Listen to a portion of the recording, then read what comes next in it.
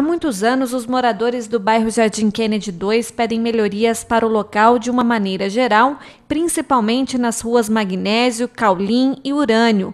No final do ano passado, o DEMAI, através de uma empresa contratada, deu início à troca de tubulação dessas vias. O problema é que ela ficou paralisada por um bom tempo, causando muitos transtornos. Seu Kleber mora no bairro há sete anos e não vê a hora dos trabalhos serem finalizados. Muita gente está reclamando disso aqui, né? Os vizinhos tudo quase reclamam aqui na minha rua.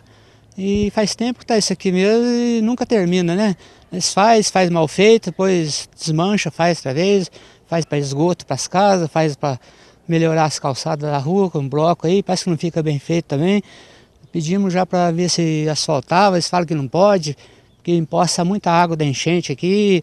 Acho que não tem nada a ver, né? Se asfaltasse, a enchente vai correr para os bueiros, vai ficar do mesmo jeito, vai esgotar para o rio e pronto. Passar por essas ruas de carro também é complicado. O motorista precisa tomar muito cuidado e redobrar a atenção. O Paulo, morador da rua Magnésio, onde parte da obra já foi finalizada, afirma compreender todos os transtornos. Porém, ele acredita que o trecho onde fica a casa dele continuará com problemas. A questão da água fluvial, não colocar o boca de lobo não vai adiantar em nada. No quesito que chove, a gente não consegue nem entrar em casa. O pessoal tem que fazer rampa na porta de casa para conseguir entrar. Então, a gente vê com bons olhos a, a que está mexendo, está gerando transtorno, mas está mexendo, mas o pior é que aqui na porta da minha casa já terminou a obra e não colocaram a boca de lobo, então não resolveu problema nenhum. As obras foram retomadas há cerca de dois meses e ficaram paralisadas em decorrência do período chuvoso.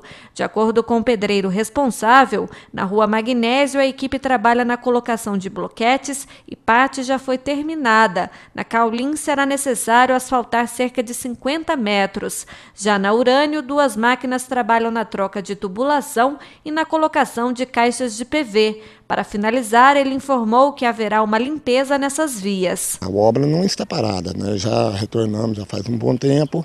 Agora nós estamos fazendo a parte do calçamento, né?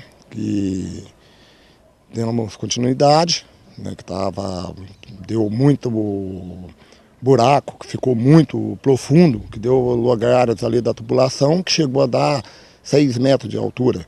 Então atrasou um pouco, mas agora já damos continuidade dela.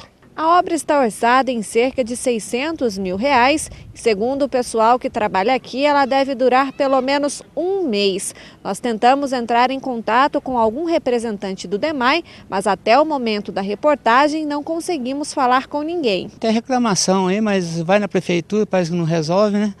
O negócio deles fala que tem que, tem que fazer alguma coisa para melhorar, mas não melhora, aí fica desse jeito aí, não tem jeito. Vamos ver se melhora, né?